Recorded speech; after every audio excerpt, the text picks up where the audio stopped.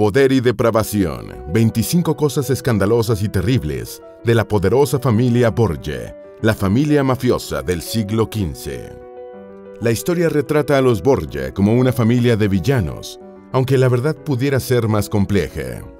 No hay dudas de que Rodrigo Borgia, que llegó a papa como Alejandro VI, y su hijo César fueron personajes sin escrúpulos, sexualmente desenfrenados y políticamente corruptos. Pero, ¿fue Lucrecia Borgia la mujer fatal que retratan algunas versiones, o resultó más bien una víctima de la vorágine de su familia y de las circunstancias de su tiempo? En este video vamos a resumir la historia de la escandalosa familia Borgia, que, de existir actualmente, rompería todos los récords en Twitter, Facebook e Instagram. Aparte de los personajes más conocidos de la casa Borgia, señalaremos otros que protagonizaron hechos inauditos y sorprendentes. Prepárate para saber esto y mucho más. Antes de meternos a fondo, no olvides suscribirte a nuestro canal y activar las notificaciones para mantenerte al día con nuestras actualizaciones.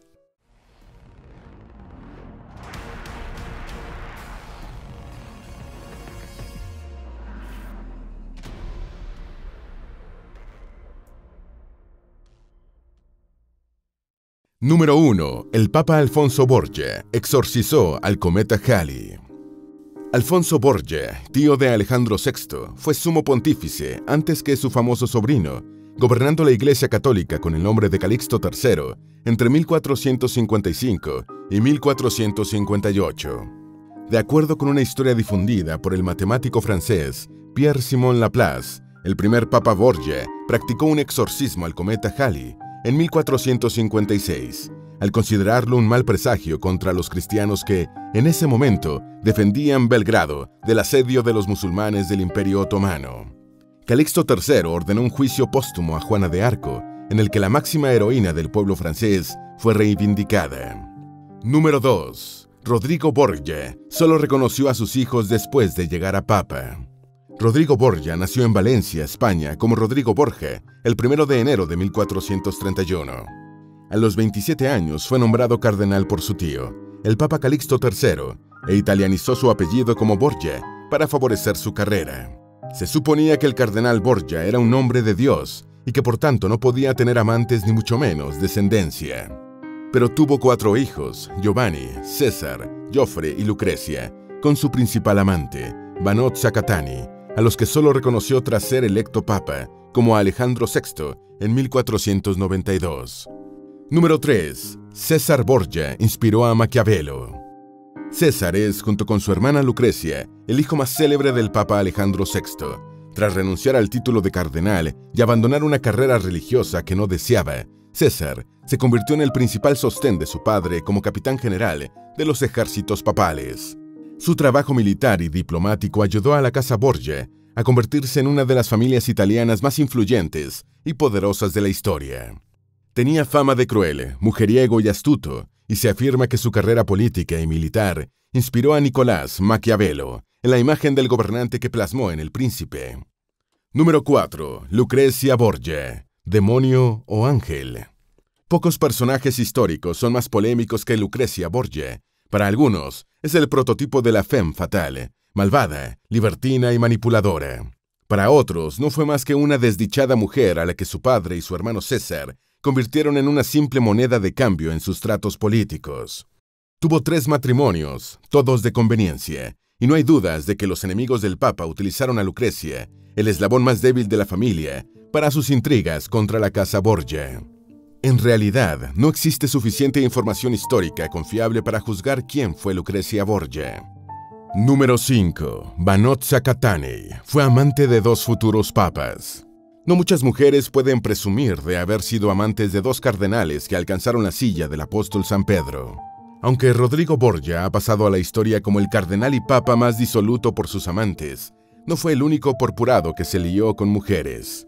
Su colega y rival, el cardenal Giulio della Rovere, compitió con él por los favores amorosos de la atractiva Vanozza Catani. El cardenal della Rovere fue elegido papa en 1503. Número 6. César Borgia quedó desfigurado y usó una máscara. Aunque suele ser representado en el cine y la televisión como muy guapo, Al parecer, César Borgia no disfrutó de su apostura por mucho tiempo. Era muy mujeriego y, aparte de sus muchas amantes extrafamiliares, tuvo un romance con su cuñada Sancha de Aragón. Incluso una versión señala una supuesta relación incestuosa con su hermana Lucrecia. Con una vida sexual tan desordenada, no es extraño que contrajera sífilis y la enfermedad venérea lo desfigurara, obligándolo a usar una máscara. Número 7. Lucrecia Borgia fue casada a los 14 años con Giovanni Sforza. Como soltera, rica y atractiva, a Lucrecia no le faltaban pretendientes. Su primer arreglo matrimonial nunca salió de los trámites burocráticos iniciales y su padre lo canceló. Después de que Rodrigo Borgia se convirtió en papa, la cotización de Lucrecia en la bolsa matrimonial subió enormemente. Fue casada en 1493 con el poderoso señor de Pesaro, Giovanni Sforza, unión que duró cuatro años porque el Papa la disolvió buscando un mejor negocio con su hija. Sforza no solo perdió a su mujer, sino que César lo obligó a abandonar sus dominios. Número 8. Alejandro VI abandonó a Vanozza Catanei por la joven Julia Farnesio. Cuando Rodrigo Borgia accedió al papado, su amante principal, Vanozza, ya tenía 50 años y cuatro hijos, por lo que es de suponer que su atractivo ya no era igual.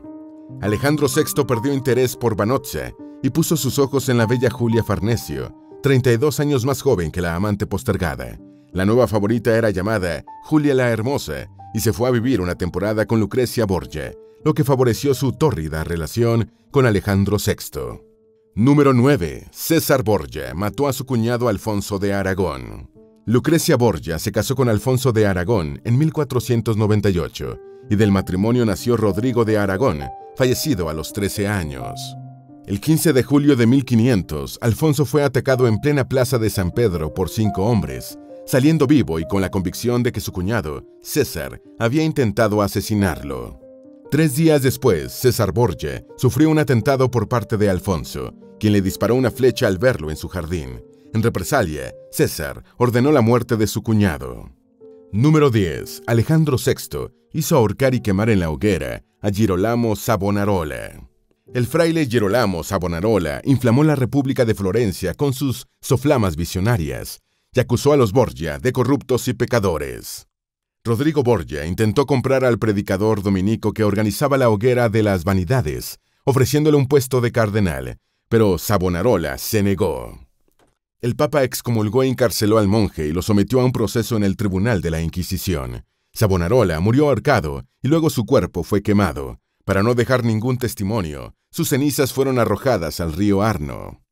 Número 11. Alejandro VI estuvo cerca de ser envenenado accidentalmente por su hijo César. El Papa Rodrigo Borgia murió el 18 de agosto de 1503, después de enfermar tras asistir a un banquete organizado por su hijo César, 12 días antes. Todos los asistentes a la comida cayeron enfermos, y algunos historiadores respaldan la versión de que fueron envenenados por César, quien quería liquidar a varios de los asistentes. El propio César también estuvo en cama y se afirma que la culpa fue de los meseros, que confundieron los platos y envenenaron a quienes no debían. Alejandro VI ya tenía 72 años y falleció. Número 12. César Borgia fue brutalmente asesinado. Tras la muerte de su padre, César fue encarcelado en España en el castillo de la Mota. Logró evadirse y huyó hacia Navarra, donde su cuñado y rey, Juan de Albret, enfrentaba una guerra civil. César asumió como capitán general de los ejércitos de Navarra y el 12 de marzo de 1507 fue emboscado por tres hombres de Luis de Beaumont, conde de Lerin. El asesinato fue tan salvaje que el desnudo cuerpo de César Borgia quedó casi irreconocible.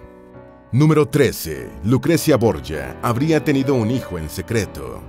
Lucrecia Borgia se sentía atraída por Pedro Calderón, un joven español al servicio de su padre como mayordomo en el Vaticano, según se deduce de la correspondencia que sostuvieron.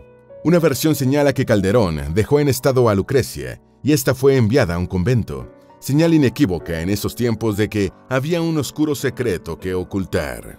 Así habría nacido Giovanni Borgia, el supuesto hijo secreto de Lucrecia. Los enemigos del Papa señalaron que el verdadero padre era César Borgia.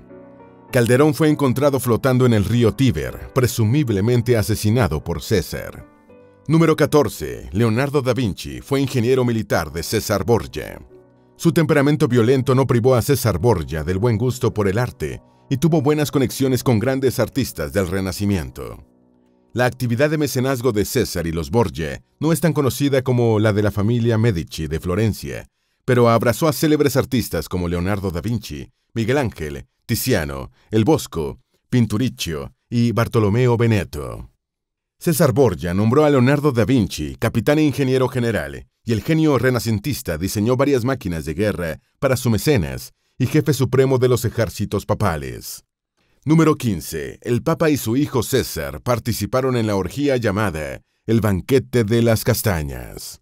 De acuerdo con el Liber Notarum, un diario escrito en latín por el maestro de ceremonias Johann Burchard, el 30 de octubre de 1501, se celebró en el Palacio Apostólico del Vaticano una orgía en la que participaron Rodrigo y César Borgia. Fue un banquete al que asistieron importantes funcionarios de la corte papal y 50 mujeres que habían ido a entretener a los hombres, primero vestidas y después en cueros. La fiesta es conocida como el banquete de las castañas, porque las cortesanas desnudas tenían que tomar con la boca estos frutos esparcidos por el suelo. Número 16. César Borgia nunca conoció a su única hija legítima. A César Borgia se le atribuyen más de 10 hijos con amantes, aunque se tiene constancia de dos, Girolamo y Camila Borgia. Tuvo a Girolamo con una mujer desconocida y a Camila con una dama de compañía de Lucrecia, de nombre Drusila. También se le atribuyó la paternidad incestuosa de Giovanni Borgia, el supuesto hijo de su hermana Lucrecia. Con su esposa, Carlota de Albert, tuvo una hija en 1500, Luisa Borgia, a la que no conoció por sus ocupaciones militares y diplomáticas. Número 17. César Borgia habría servido como modelo de Jesús de Nazaret. El diablo que era César habría posado para algunos artistas que pintaban cuadros de Jesús de Nazaret en la época de esplendor de la Casa Borgia, aunque es una especulación, de ser cierta, los rostros actuales de Jesús podrían tener mucho del hijo de Alejandro VI. Sin duda, tuvo que haber ocurrido antes de quedar desfigurado por la sífilis. Alejandro Dumas, padre, autor de El Conde de Montecristo, apoyó la teoría. Número 18. Pedro Luis Borgia murió mientras huía de Roma. Pedro Luis Borgia fue el hermano menor de Rodrigo Borgia y sobrino del Papa Calixto III. Cuando Calixto III llegó a la Santa Sede, llenó de cargos y honores a sus sobrinos. Rodrigo recibió los nombramientos de cardenal diácono y comandante en jefe de las tropas papales, mientras que Pedro Luis fue designado prefecto de Roma. Los romanos odiaban a los Borgia, a quienes llamaban despectivamente catalanes por su origen español, y cuando Calixto III murió, se inició una persecución contra sus familiares. Pedro Luis Borgia murió mientras huía. Número 19. Giovanni Borgia fue brutalmente asesinado, presumiblemente por su hermano Joffre. Giovanni, también conocido como Juan Borgia, fue el mayor de los cuatro hijos de Alejandro VI, con Vanozza Catanei, su amante.